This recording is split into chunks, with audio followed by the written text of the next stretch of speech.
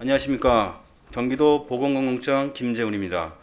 지난 10일 경기도가 발령한 서울 용산구 이태원 클럽에서의 코로나19 집단 감염과 관련하여 클럽 업소 출입자 등의 코로나19 감염 검사와 대인 접촉 금지 행정명령에 대해 행정명 대상자의 적용 시점을 변경 발령합니다. 당초 행정명령 대상자를 2020년 4월 29일부터 그 이후 서울 용산구 이태원동 소재 6개 클럽과 서울 강남구 논현동 소재 블랙 수면방 출입자로서 경기도에 주소, 거소, 직장, 기타 연구를 둔 산업을 하였으나 이를 2020년 4월 24일부터 그 이후 상기업소 출입자로 변경하고자 합니다.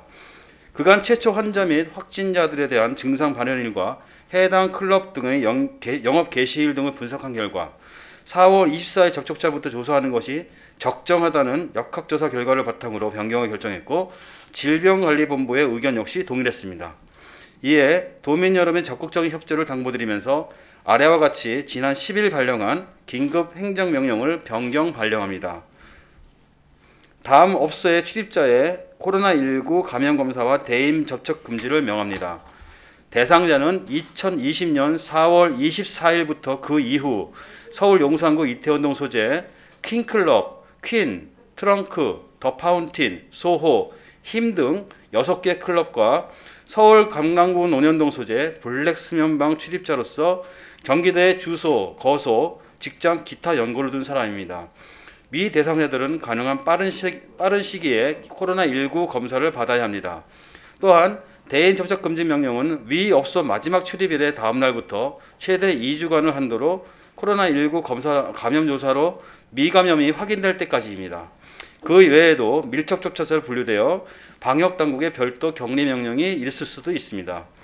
경기도의 주소, 거소, 직장, 기타 연구를 둔 자로서 위 클럽이나 수면방 출입자가 아니어도 2020년 4월 24일 이후 사, 서울 용산구 이태원동과 논현동에 갔던 사람은 누구나 17일 일요일까지 경기도내 보건소와 선별진료소에서 무상으로 코로나19 감염 검사를 받을 수 있습니다.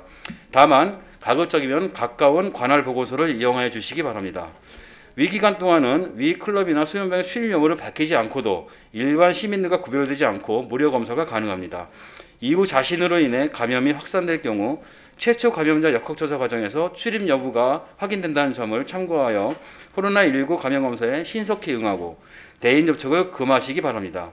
이 명령은 감염법의 예방 및 관리 관련 법률상 역학조사, 건강진단, 46제 건강진단, 경, 어, 제47조의 격리 및 대인 접촉 금지에 근거한 조치로서 위반 시 최고 징역 2년 또는 벌금 2천만 원에 처해질 수 있고 위반에 의해 감염이 확산된 경우 그로 인한 방역 비용이 구상 청구될 수 있음을 알려드립니다. 경기도는 서울 용산구 이태원 클럽을 중심으로 한 코로나19의 그 집단 감염이 확산됨에 따라 즉각 대응팀을 투입하여 심층 역학조사를 진행하고 있고 관련 위험시설에 대해 전수조사와 소독을 실시하는 등 감염 확산 차단을 위해 총력 대응을 하고 있습니다. 앞으로도 이번 집단 감염이 조속히 해결될 수 있도록 최대한 노력을 다하도록 하겠습니다. 도민 여러분께서도 개인 방역 수칙 등에 적극적으로 따라주시길 다시 한번 당부드립니다. 감사합니다.